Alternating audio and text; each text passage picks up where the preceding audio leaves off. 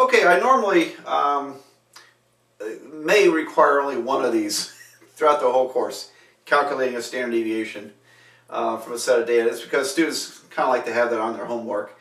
I won't put it on a test, but, uh, but you should take notes because there may be a homework problem where I ask you to, to calculate a standard deviation. Now, if you were in, the, in a different statistics course like our Math 281, you would be doing this all the time. And you would probably use learn how to use the statistical function keys on your calculator to do that. So, uh, you know, the, the, standard introductory course in statistics is uh, a lot of number crunching. This course, um, I'm really um, de-emphasizing that kind of number crunching. So, but we'll, you may get to do it once. So take notes on this one. All right. Now, um, this other method of calculating standard deviation, I'm going to square all the numbers in these columns. So x squared, 5 squared is 25. There's 49, 25, 36, 9, 16, 25, 81, 36, and 16. And then we add up that column. So I got 10, 19, 25, 40, 52, 53, 58. And carry the 5, 5, 7, 11, 12, 13, 16, 17, 27, 31, 318.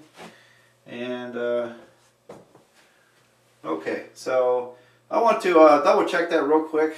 Let me see, this is 50, 99, 180, 180, 216, 225, 250, 260, 6, 266, 276, 282, 288, 318. Okay, 318 is, appears to be correct. And that's the sum of the x squareds.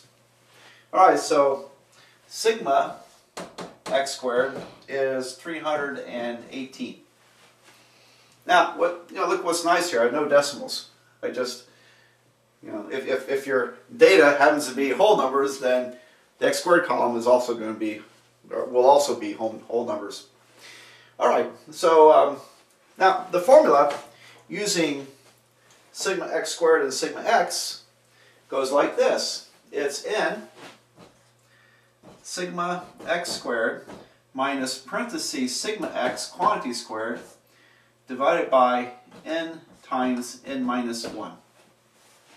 Got that? Alright, so n is sample size times the sum of the squares minus the sum of the x's squared, all divided by n times n minus 1.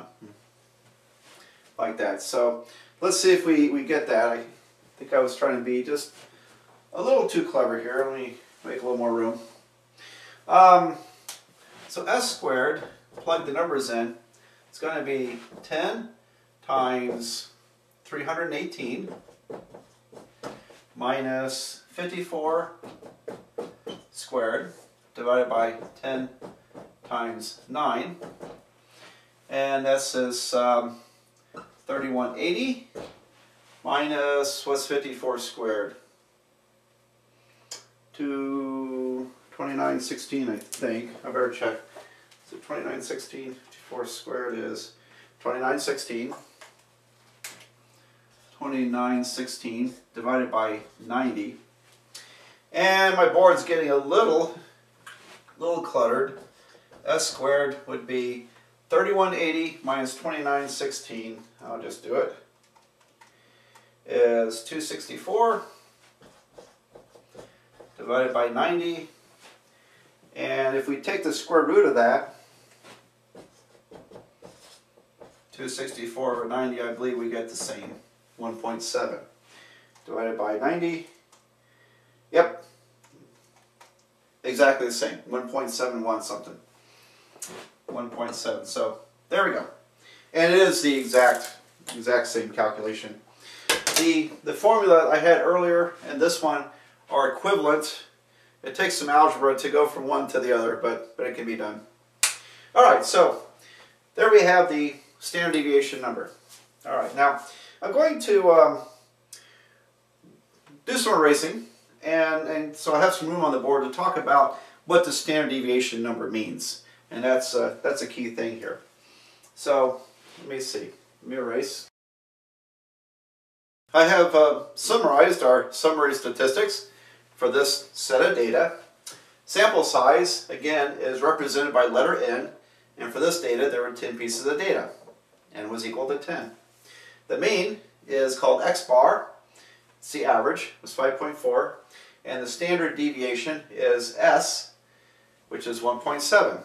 Now, after this, I'm going to call this the sample mean and the sample standard deviation. So we, we actually have two other, we have another mean and another standard deviation, which I'll talk about in a bit. But um, anyway, let's, let's move on from here.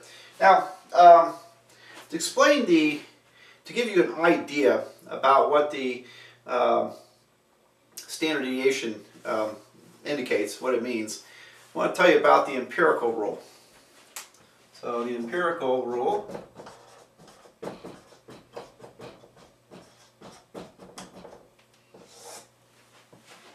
says this. It says that about 68% of data lies within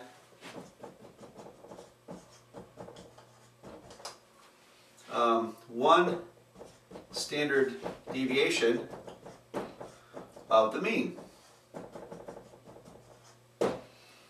68% of data lies within one standard deviation of the mean. Let me get two more of these up here. Um, about 95% lies, I'm going to kind of shorten my sentence here, but it would be all this, lies within two standard deviations of the mean. And for three standard deviations, about 99.7% lies within three standard deviations of the mean. Alright, so I hope you can read my writing here. Um, this is this is known as the empirical rule in, in some textbooks, and, and I like to use it to, to illustrate. Now this is kind of a rough rule of thumb. And, and what they're really referring to is when the data is distributed like this. Now, you may recognize this, this curve. It's called the bell curve. the bell curve. And in statistics, we don't normally call it the bell curve, we call it the, the normal distribution. And it gets its name because most data is normally distributed like this. Most data, the center of the data is clustered the numbers around the center are clustered and they taper off on both ends. For example, the, the height of men. What's the average height of a man in the United States? I don't know what it is. Let's suppose it's 5 foot 10.